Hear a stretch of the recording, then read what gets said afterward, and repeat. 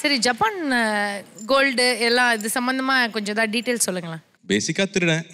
நம்ம திருடனா நடிச்சா எல்லாருக்கும் பிடிக்குது. அதனால திரும்பி இன்னொரு திருடன். ஆனால் வந்து ஒரு சாஃப்டாக ராக்கெட் ராஜா மாதிரி திருடன்ல கொஞ்சம் டார்க்கான ஒரு சைடில் இருக்கிற ஒரு திருடன். ஸோ எனக்கு ரொம்ப புதுசாக இருந்துச்சு. அந்த மாதிரி ஒரு கேரக்டர் அவர் எழுதியிருந்தப்போ நிச்சயமாக கார்த்தி அது நடிக்க முடியாதுன்னு தோணுச்சு. கார்த்தியா நான் அப்படியே போய் இந்த கேரக்டர் நடிக்க முடியாது. So I had to change for it அப்போ வந்து அதுக்கான ஹேர் ஸ்டைல்லேருந்து காஸ்டியூம்லேருந்து வாக்கு இதெல்லாம் பண்ணிட்டோம். கடைசியா போய் ஃபர்ஸ்ட் ஷாட் நடிக்கிறப்போ எனக்கு வந்து இந்த போக்கரி படத்துல டைலாக் ஞாபகம் வந்துச்சு. எல்லா கெட்டப்பும் மாத்தின கொண்டைய மாத்தவே இல்லையங்கிற மாதிரி. என் வாய்ஸ் வந்து மறுபடியும் கார்த்தி வருதுன்னு தோணுச்சு.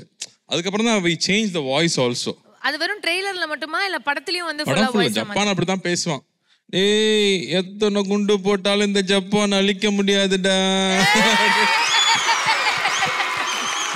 So, அவன் அப்படி இருந்தாதான் எனக்கு கன்வின்சிங்கா இருந்துச்சு. So that's what we tried Super, sir. Thank you so much for sharing that with us.